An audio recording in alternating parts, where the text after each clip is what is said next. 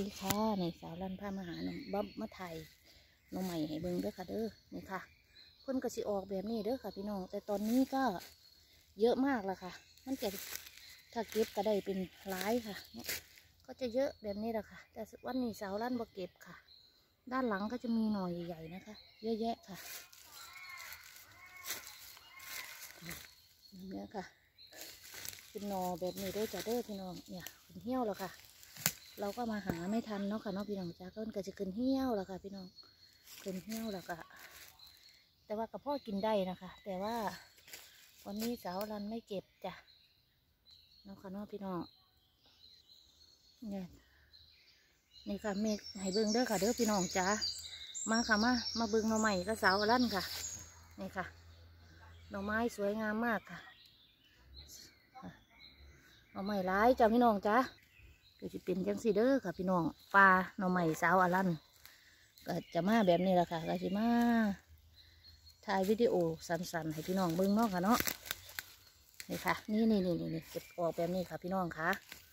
จะเป็นลักษณะนี้แหละค่ะ นี่เด้อค่ะ แต่มื่อนี้สาวอลันงดกัน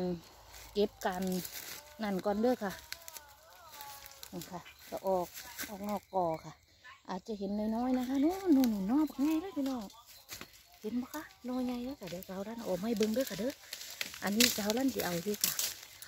นอนแบบนี้นี่จะน้อยยังไงแบบนี้น้อยน้อยสาวด้านบ่เอาจ้าเอาไปต้มแก้วนะคะพี่น้องคะแต่สิประมาณนี้แหละค่ะพี่น้อง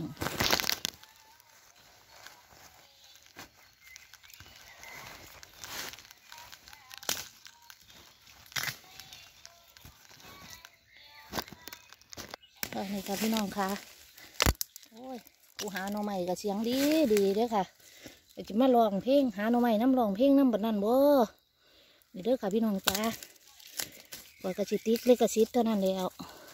เจ้ากระมวนโพดนาะค่ะนี่ค่ะพี่น้องค่ะเนี่ยน้อยยังจ้ะนี่สาวลั่นเอาอยู่ค่ะ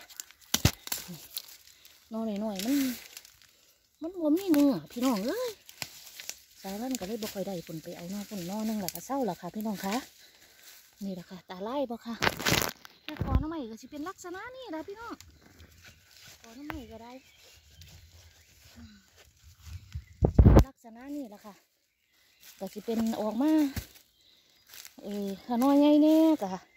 ก็ได้เนื้อแน่ถ้าน้อยน้อยแน่ยังสี่ก็มีเนื้ออยู่ค่ะแต่ว่าก็สิยุติการหาก่อนค่ะ เอาละค่ะพี่น้อง